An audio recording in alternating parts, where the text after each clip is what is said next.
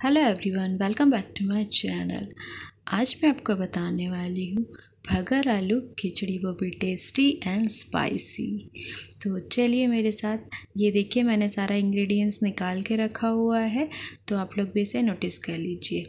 तो चलिए हमने कुकर गरम करने रख दिया था, जिसमें मैंने दो टेबल स्पून तेल डाला है, और उसमें मैं डाल रही हूँ एक बड़ा कट्टा आलू। ऐसे हम अच्छी तरीके से मतलब फ्राई कर लेंगे। पकाना नहीं है, ऐसे से फ्राई करना है ताकि उसमें कलर चढ़ जाए। देन उसमें हम डालेंगे मूंगफली। जितना आपको टेस्ट लगे उतना आप डाल सकते हो। तो मैंने ये थोड़ा डाला है। और इसमें डालेंगे हम दो हरी मिर्च कटी हुई और डालेंगे मिठा नीम। आपको जितना स्पाइसी चाहिए आप उसके हिसाब से हरी मिर्च यूज़ कर सकते हैं। तो देखिए ये कुछ इस तरीके का दिख रहा है। देन सबसे लास्ट में हम डालेंगे जीरा। हाफ़ छोटा चम्मच डाल सकते हैं। और इसमें डालेंगे एक लाल मिर्च। लाल मिर्च सिर्फ़ फ्लेवर के लिए डल रहा है। आप लोग अगर चाहे तो डाल सकते हैं अदरवाइज़ इसे स्किप कर सकते हैं। तो देखिए कुछ ये इस तरीके का दिख रहा है मसाला। देन हम डालेंगे इसमें लाल मिर्च। अगर आपको स्पाइसी थोड़ा ज़्यादा बनाना है तो लाल मिर्च डाल सकते हैं अदरवाइज़ इसे भी स्किप कर सकते हैं। देन इसमें मैंने डाला है स्वाद अनुसार नमक और शक्कर। तो देखिए, इसे कुछ इस तरीके का हमने मिक्स कर लिया है। मिक्स करने के बाद हम इसमें डाल रहे हैं भगर। भगर को मैंने धो के रख दिया था दो तीन सेकंड पहले। आप इसे धो के नहीं रखिएगा, तुरंत भी आप धो के रख सकते हो। मतलब तुरंत धो के भी आप डाल सकते हो। तो देखिए, हम इसे मिक्स कर लेते हैं और भगर डालने के बाद इसे कुछ दो तीन सेकेंड तक अच्छा तेज़ आँच में भूंजना है ताकि ये अच्छे से भूंज जाए। इसमें डायरेक्ट पानी अगर डालेंगे तो ये फिर कुछ अलग सा लगता है। इसीलिए पहले भूंज ले देन फिर पानी डालें।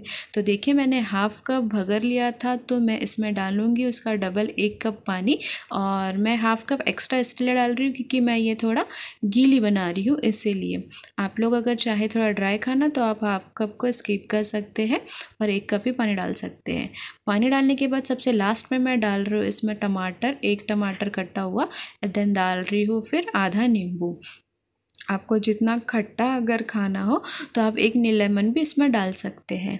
तो देखिए, मैंने इसे अच्छे तरीके से मिक्स कर लिया। मिक्स करने के बाद इसे एक सीटी के लिए हम रख देते हैं। देन हम करते हैं इसमें चट मतलब रायते की तैयारी। रायते के लिए मैंने लिया है हाफ़ कप दही होममेड दही है ये। देन इसमें मैं डाल रही हूँ दो टेबल स्पून शेंगदाने का पाउडर शेंगदाने का पाउडर मैंने बना के रखा था, जिसमें मैंने शेंगदाने को भूंज के इसे ग्राइंडर कर लिया था। देन इसमें हम डालेंगे हाफ़ कप पानी। आप चाहे तो जितना थिक अगर चाहे तो आप पानी नहीं भी डाल सकते हो। मुझे थोड़ा लिक्विड ज़्यादा चाहिए था, इसलिए मैंने हाफ़ कप पानी डाला है। तो आप अपने अंदाज से देख सकते हो। देन इसमें मैंने डाला है स्वाद अनुसार नमक और डाला है एक टेबल स्पून शक्कर। तो चलिए हम करते हैं अब तड़के की तैयारी, जो हम रायते में डालेंगे अभी। तो उसमें मैंने डाला है जीरा, हरी मिर्च और कड़ी पत्ता। तो देखिए हमारा तड़का कुछ इस तरीके का रेडी हो चुका है। तो देखिए कितना टेस्टी सा लग रहा है ये। और ये खाने में भी बहुत अच्छा लगता है तो आप लोग इसे ज़रूर ट्राई करिएगा।